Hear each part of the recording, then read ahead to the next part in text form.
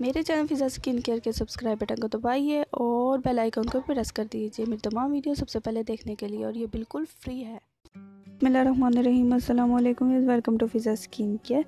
आज मैं आपसे शेयर करने वाली हूँ साइड इफ़ेक्ट, बेनिफिट्स और चंद मालूम और रिव्यू भी चाकल मार्क्स के बारे में।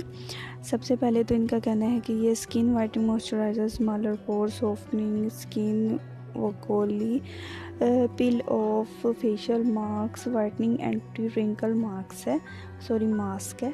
और इसके अलावा इनका कहना है कि इन ये मास्क यूज़ करने से आपकी स्किन ब्राइटन होती है। और इसके कीमत के बारे में आपकी आपसे आप कीमत के बारे में आपको बताऊँ तो ये मुझे टू फिफ्टी यानी दो सौ पचास रुपये में मार्केट से मिला है। काफ़ी ज़्यादा क्वांटिटी है क्वांटिटी के हिसाब से तो कीमत कुछ भी नहीं है। बहुत कम कीमत में मिल जाता है ये आपको। इसके अलावा इसको यूज़ करने के लिए तरीका इन्होंने बताया है कि पहले फेस को वॉश करें, फिर अप्लाई करें टू ट्वेंटी ट्वेंटी से ट्वेंटी फाइव मिनट तक। इसके बाद इसको उतार दें। तो टाइमिंग जो उन्होंने दी है ट्वेंटी से ट्वेंटी फाइव मिनट तो नहीं लगते। मैंने इसे अप्लाई करके टाइम नोटिस किया था। ट्वेंटी से ट्वेंटी फाइव मिनट्स नहीं लगते बल्कि फ़ोर्टी से फोर्टी फाइव मिनट्स लगते हैं इसको ड्राई होने के लिए।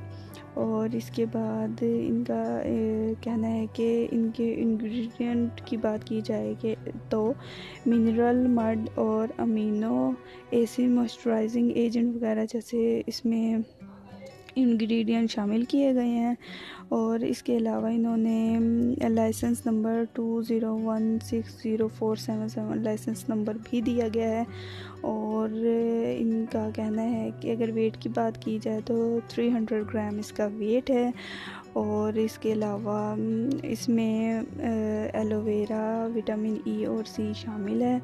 और इसको यूज़ करने से इस मास्क को यूज़ करने से आप की स्किन ब्राइटन होती है और सॉफ्ट होती है। इसके अलावा इनका कहना है कि इन, इस मास्क को यूज़ करते रहने से कंटिन्यू आपको रिंकल से भी छुटकारा मिल जाता है।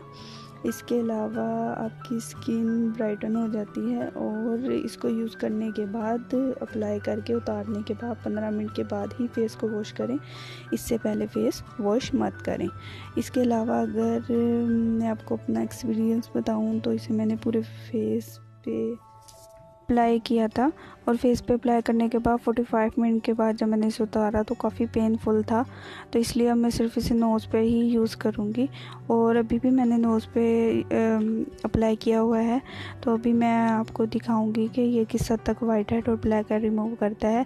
इसके अलावा इसको मैंने पहले यूज़ किया है तो ये स्किन ब्राइटन सच में करता है और ऑयल फ्री भी हो जाती है आपकी स्किन और अगर ब्लैक हेड और वाइट हेड रिमूव करने की बात है तो मैं अभी आपको दिखा देती हूँ कैमरे में ठीक से दिखे तो कि ये वाइट हेड और ब्लैक हेड कुछ हद तक ही रिमूव करता है ज़्यादा नहीं रिमूव करता। आ, कुछ हद तक ही बस कुछ ब्लैक हेड और वाइट हेड ही आपको मार्क्स में दिखेंगे इससे ज़्यादा नहीं रिमूव करता बस कुछ हद तक ही करता है।